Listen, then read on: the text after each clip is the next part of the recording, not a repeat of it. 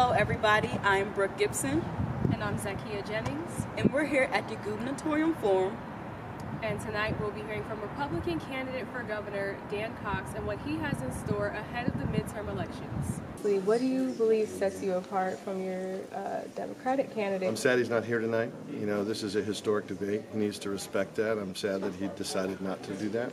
What sets me apart, I hope, is that I'm not bought and paid for by the corporatists and the international lobbyists and the people that have uh, stamped his campaign with lots of money.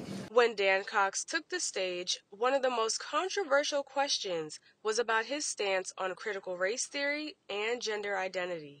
Sure, critical race theory is Marxism. It's a Marxist ideology that actually divides, um, you know, and takes out our history. You look at gender theory.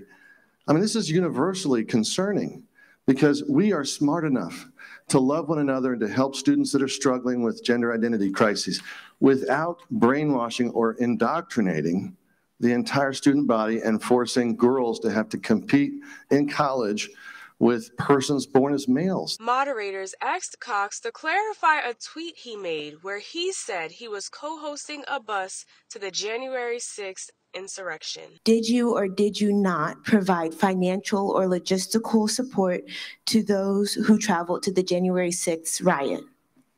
Absolutely not. And let me explain. First of all, it was a rally, like I said, to talk, to hear the President of the United States speak. Secondly, when I said that I was co hosting, what they did was they said, Delegate Cox is going to ride on the bus with his kids. I bought tickets. I did do that.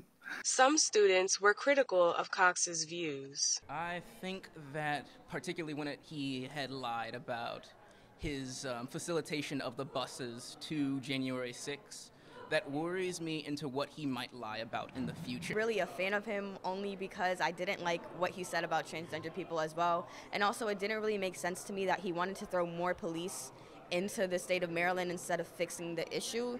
So I thought it was interesting, but me personally, I would not vote for him. Cox supporter Crystal Jenkins liked his stance on COVID closures. He fought to keep the churches open, which I was really upset that they closed the churches. For Jenkins, kitchen table issues are more important than national issues. Hey, you can talk about January 6th till you blue in the face. That's y'all issue.